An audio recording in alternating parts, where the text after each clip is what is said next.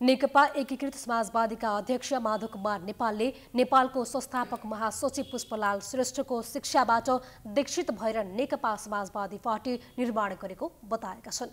नेकपाको संस्थापक महासचिव पुष्पलालको चौवालिसौँ स्मृति दिवसको अवसरमा श्रद्धाञ्जली दिन किर्तिपुरको चम्पादेवी पुगेका नेपालले पुष्पलालको शिक्षा दीक्षाबाट दीक्षित भएर नेपालको इतिहासमा कीर्तिमान कायम गरेको बताएका हुन्। अहिले आफूहरूको काँधमा चुनौतीहरू रहे पनि आत्तिनु पर्ने कुनै कारण नभएको नेपालको भनाइ छ। आफ्नो पार्टी देश र जनताको निमित्त इमान्दार राजनीति गरेर अघि बढ्ने नेपालको भनाइ छ। आफ्नो पार्टीको विचार सिद्धान्त र आदर्श सही रहेको नेपालको दावी छ। मान्छे कतिजना छन् महत्त्वपूर्ण कुरा हो। उसले बोकेको विचार ठिक छ कि छैन। उसले लिएको उद्देश्य ठिक छ कि छैन। उसले जुन आदर्शप्रति समर्पित छ त्यो आदर्श राम्रो कि छैन? वास्तवमा समाजप्रति समर्पित भएर अघि बढ्न खोजिरहेको कि छैन? त्यसैले हामी देशप्रति समर्पित भयौँ जनताप्रति समर्पित हौँ र उहाँ र हामीले कम्युनिस्ट आन्दोलनको झन्डालाई आज माथि उठाउँदै निरन्तर रूपमा अघि बढाउँ, अन्तमा अन्तमा न्यायको जित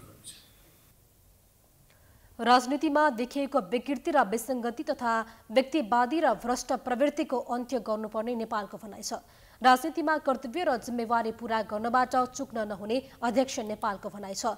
कार्यक्रममा पार्टीका महासचिव बेदुराम भूषालले नेतृत्वका हिसाबले पुष्पलाल शीर्ष पुरुष भएको बताए।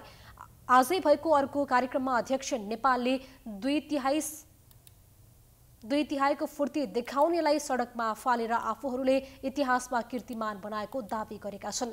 नेकपा यस निकट नेपाल तामाङ सङ्घ समाजवादीको राष्ट्रिय भेलालाई शनिबार काठमाडौँमा सम्बोधन गर्दै अध्यक्ष नेपालले दम्भी र अहङ्कारीलाई सडकमा फालेर कङ्ग्रेसको नेतृत्वमा सरकार बनाउनु परेको बताए। अध्यक्ष नेपालले नेपाली कङ्ग्रेसलाई चेतावनी दिएका हुन्।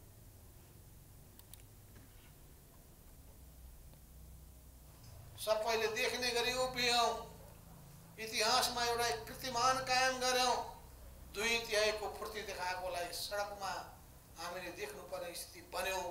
नेपाली कङ्ग्रेस सहितको नयाँ सरकार बन्ने अवस्था बन्यो। निर्वाचन भयो। निर्वाचनमा कम्युनिस्ट पार्टीको भन्दा काङ्ग्रेस पार्टी पुग्यो दुःखको कुरा। काङ्ग्रेस पार्टी पुगिसकेपछि काङ्ग्रेस पार्टीमा अहङ्कार देखा पर्न अर्को चिन्ताको कुरा।